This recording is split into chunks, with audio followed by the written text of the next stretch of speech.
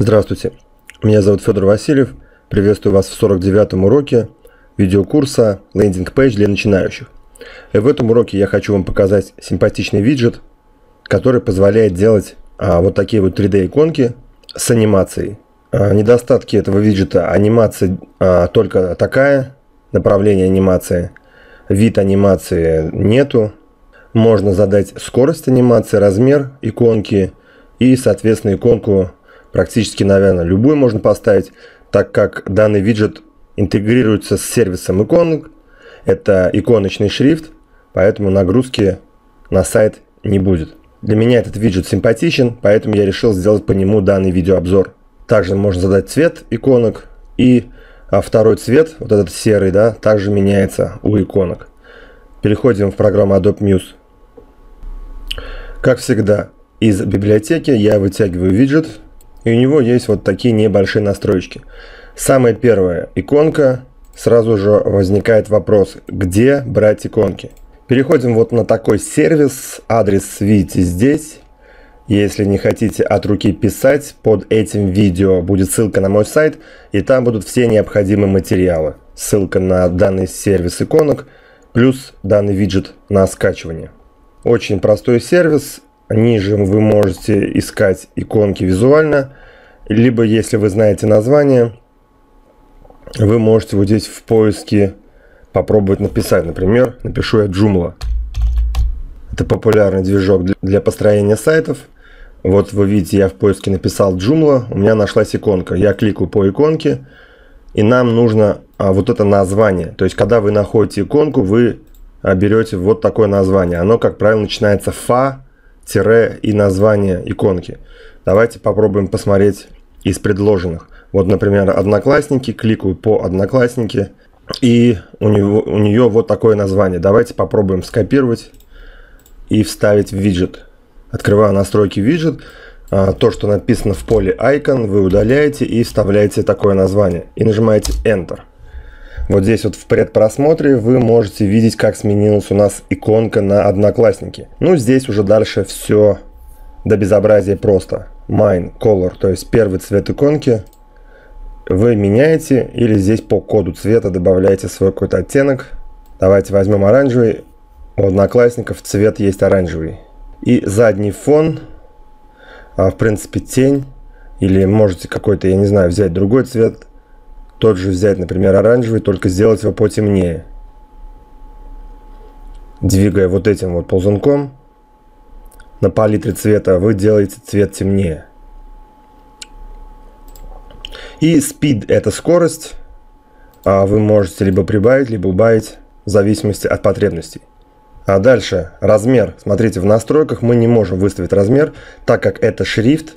Вы выделяете сначала виджет, потом кликайте в Muse инструмент текст.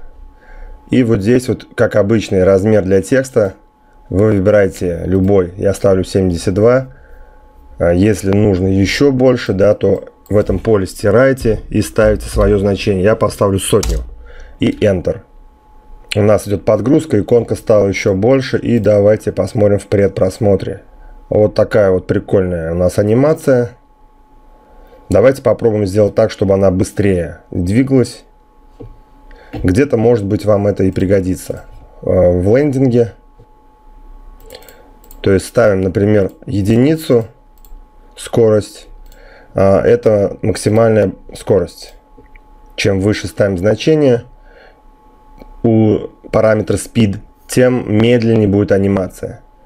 То есть вот такая вот симпатичная анимация, вот такой симпатичный иконочки. А если нужно больше иконок, не обязательно идти в библиотеку, вы просто с зажатым клавишей Alt делаете копию, идете в сервис иконок, ищите подходящую иконку, меняете здесь название, меняете цвет, меняете скорость, Единственное, то, что нельзя изменить, а, второй цвет, Shadow, тень, а, чтобы у каждой иконки была, был оттенок тени а, индивидуальный. То есть, если я сменю здесь оттенок у второй иконки, то у одноклассников сменится также на тот же цвет. То есть тень у всех будет одинаковая. Давайте посмотрим, что получается. Вот такие вот симпатичные иконки. В принципе, на этом все. Надеюсь, урок для вас был полезным. А мы увидимся с вами в следующем. Наверное, трудно представить себе современный лендинг-пейдж, сделанный в Adobe Muse без сторонних виджетов. А где же их взять, спросите вы? Специально для вас я подготовил пак качественных и самых востребованных виджетов. 121 виджет ждут вас. Всего в два клика вы сможете скачать абсолютно бесплатный потрясающий виджет, например, меню для мобильных устройств. Несколько вариаций мобильных меню – уникальные слайд-шоу. Всевозможные эффекты с текстом. Круговой прогресс-бар.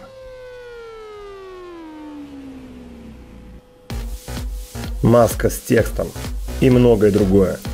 Чтобы скачать виджеты, перейдите на мою страничку, адрес, который вы видите у себя на экранах. Просто впишите сюда свой рабочий электронный ящик и нажмите на кнопку «Забрать виджеты». К вам придет письмо с подтверждением вашей электронной почты. Обязательно подтвердите, иначе виджеты не придут к вам на почту. Второе письмо придет к вам автоматически, где вы сможете скачать 121 виджет. Делаете лендинг-пейдж, делайте их круто.